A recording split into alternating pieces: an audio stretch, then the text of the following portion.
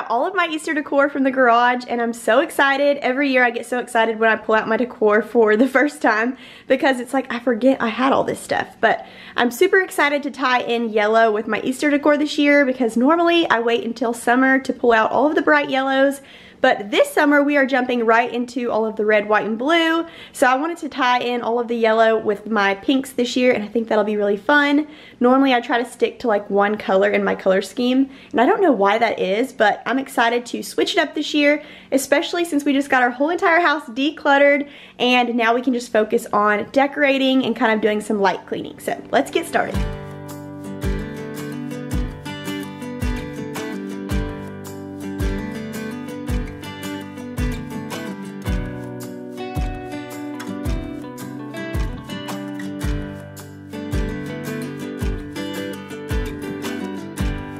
So this year for Easter, I'm more excited than ever to break out the color. I wanted to change things up and add in lots of pastels with some small pops of bright colors too. Spring is the happiest time of year. We get to put away all of the winter clothes and break out the shorts and add in lots of color to our seasonal decor. And this is just a tiny introduction to what I plan to do to our home for Easter and spring in general. But I thought it would be fun to start in our bedrooms. So I'm to be working in the master bedroom and in Oliver's nursery today.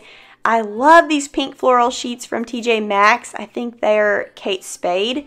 But I decided this year to add a pop of bright yellow. So I added in the pillows and the blanket. And after weeks and weeks of decluttering our home and cleaning nonstop, I was so excited to decorate and get back to adding tons and tons of color. But let me know down in the comments below what colors do you like to use when it comes to your spring decor. I almost went with all white and blue um, with like a little bit of floral mixed in and then I changed my mind last minute.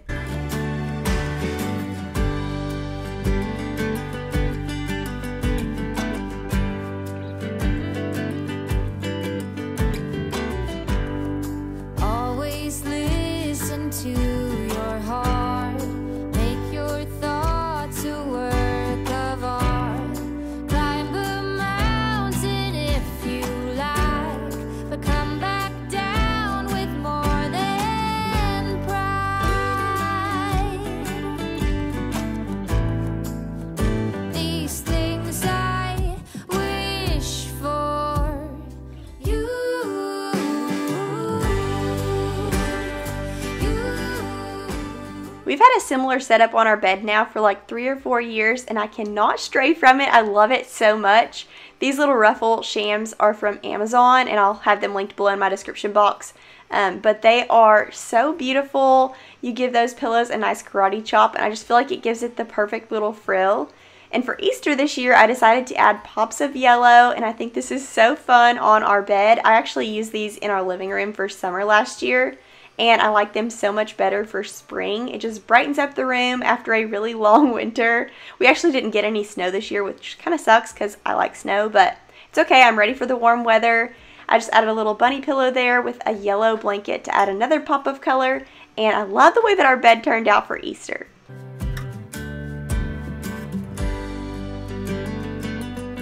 Okay, now that I have the bed made, I'm trying to choose a bunny banner for our headboard. And last year I did this little colorful one and it was so cute, but I'm trying to decide if I should tone down all of the colors with this little sparkly one or if I should keep all the colors going and do this one. Y'all let me know down in the comments below. I'm just gonna choose one for now, but I may end up changing it later. Hey, at least I'm breathing. Today's um, video is in collab with my sweet friend Tori. She is queen of home decor right now on YouTube. Go check out her Easter decorate, but also take a minute to explore the rest of her recent videos. She is so much fun, y'all, and always has new videos every time I go look. Her spring decor is absolutely beautiful. But between home decor and Disney vlogs and shopping hauls, she has you covered. So make sure to stop by her channel and subscribe. And if you're over from her channel today, thank you so much for stopping by. I hope that you will stick around and subscribe. And I hope you enjoy today's video. I know it took a while. Been looking for a sweet song, a sign of spring. Waiting for a reason to laugh, to sing. Cause I've been spending all my time to figure out just how. For the dresser, I didn't want to clutter it up too much, but I did want to add a little pop of life over here, so I added some yellow flowers to a vase and some white bunnies, and I put them on a tray that I actually stole from the kitchen, and you're going to see that in Sunday's video. I used to have that tray in the corner of our kitchen, and I'm going to switch that up, but for the nightstand, I'm just adding a little light pink candle. It smells like mandarin oranges and pomegranate. It smells so good for spring, and it matches our sheets. What goes up finally must come down. Hey, at last I'm standing. Now headed over to our faux fireplace, I'm just going to dust this off and add back the same little mossy greenery from Hobby Lobby. I'm going to add a little bunny sign here. I think that's from TJ Maxx last year. I'm going to add a couple candlesticks and then a really glam pink egg that I found at TJ Maxx a couple years back. And I just wanted to keep this really simple over here. I love the way that it turned out.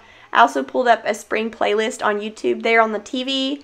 And it's a restaurant patio with blossoming trees. I did this last year too, but there is no better time of year to eat out on a restaurant patio than spring all of the trees are blossoming, the weather is perfect, and it's just like the happiest thing, especially if you go get cheese dip and tacos.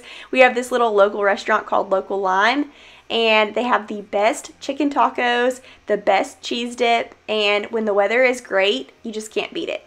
But anyways, we finished that up. Now we're going to vacuum this room and we'll move on into Oliver's nursery.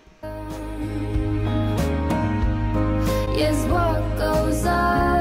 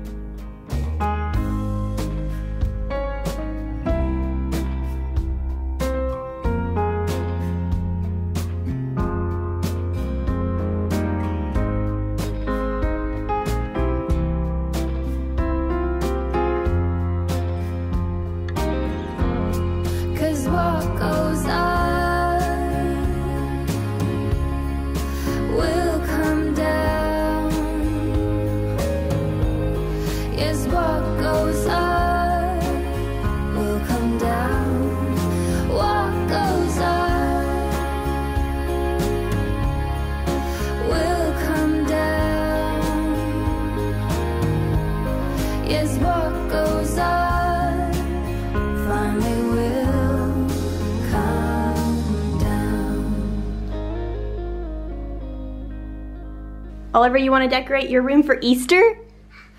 Yeah, okay. This is what I pulled out of my decorations for him. It's all stuff that's not breakable and fun for him. The only thing that is breakable is this, and I'm going to put it up high, so let's decorate. What do you want to decorate first? Oh, oh, oh. Yesterday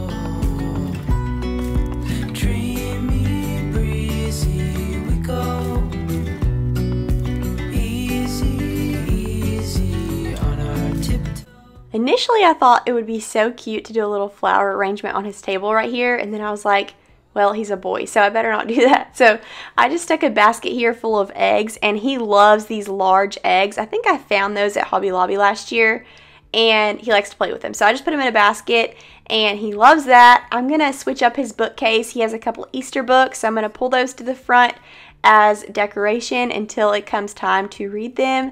Easter is still a few weeks away, but I added a little grass bunny here on his bookshelf as well as some carrots just to kind of give this bookshelf some life. And that is so cute for Easter. And then over here on his dresser, I'm just going to add a little egg candy dish, but instead of putting candy in there, I'm going to add a little greenery. I kept wanting to add flowers in here, and then everything told me not to because he's a boy. I don't know why. Um, but then I just added a little glass bunny over here too, and I think this is so cute, simple but fun for Easter, and he knows that Easter is coming now.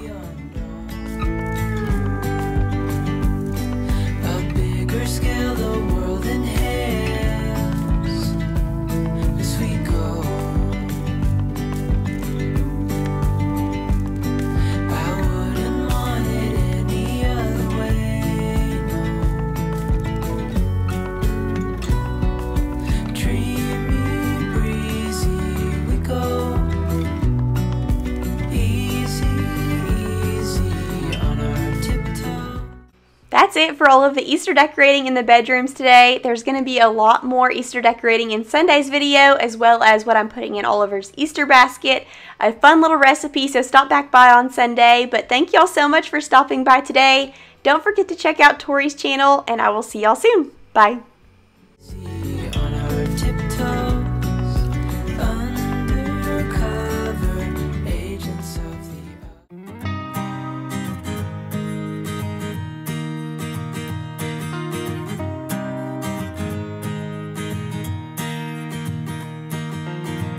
Another week, another day, another hour since you went away, and so cliche you didn't say goodbye. I've been waiting for so long, still debating what went wrong. All by myself, you pulled away, you couldn't stay.